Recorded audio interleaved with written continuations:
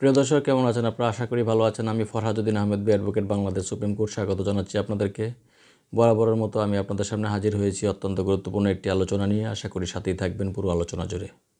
আজকে আলোচনা করব সরকারি বা সাহিত্যসাজিত প্রতিষ্ঠানে আপনারা যারা চাকরি করছেন তাদের যারা কোয়ার্টারে থাকেন, সেই গভর্নমেন্ট কোয়ার্টার, সরকারি কোয়ার্টার যদি বরাদ্দ বাতিল হয়ে যায় অথবা কোয়ার্টার বরাদ্দ সংক্রান্ত বিষয় অথবা বরাদ্দ বাতিল সংক্রান্ত বিষয়ে কিন্তু উচ্চ আদালতে রিট করা যায়।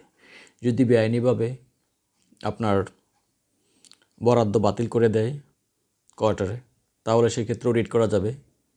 আবার যদি বরাদ্দ আপনাকে না দিয়ে আপনি বরাদ্দ পাওয়ার জন্য অ্যান্টাইটেলড আপনাকে বরাদ্দ দেওয়ার মতো যথেষ্ট কারণ রয়েছে। আপনি যত যত বরাদ্দ দেওয়ার যে নিয়ম আছে, নিয়ম অনুসারে আপনি পাওয়ার যোগ্য। সেক্ষেত্রে আপনাকে কোয়ার্টার বরাদ্দ না দিয়ে থাকলে সেই সেক্ষেত্রেও কিন্তু মহামান্য হাইকোর্টে এ ব্যাপারে রেড পিটিশন দায়ের করা যায়। কোয়ার্টার থেকে আপনাকে যদি উচ্ছেদ করে দিতে নোটিশ দেয়,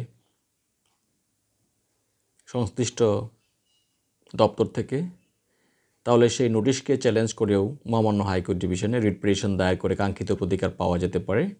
যথাযথভাবে যদি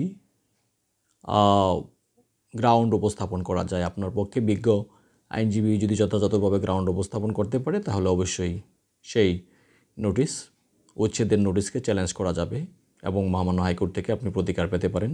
ধন্যবাদ। আজকের মতো আলোচনা এখানে শেষ করছি। আজকের আলোচনাটি অত্যন্ত ছোট্ট, কিন্তু গুরুত্বপূর্ণ। চলুন আমরা প্রত্যেকে একটি করে ভালো কাজ করি। ধন্যবাদ সবাইকে।